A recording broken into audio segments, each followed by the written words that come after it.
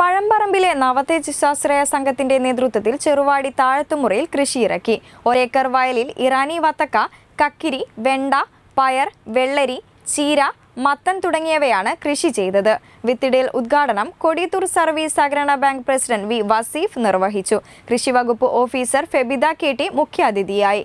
കൊടിയത്തൂർ ഗ്രാമപഞ്ചായത്ത് വിദ്യാഭ്യാസ standing committee chairman Ayisha Chelappurath Mammadkutty K C Bichu Cheruvadi Kannankutty Mottammal bank manager Sreejith Jabbar Muneer Manu Jafar Kareem എന്നിവർ സംസാരിച്ചു.